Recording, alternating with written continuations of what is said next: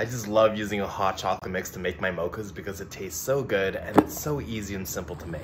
It's up to you how much hot chocolate you want. I usually use one heaping tablespoon, and sometimes even more if I'm making a cold one. Then all you gotta do is mix in your coffee and add some steamed milk, or add some cold milk if you're making an iced mocha. You can also dust on some cocoa powder and drop in some marshmallows if you're feeling fancy.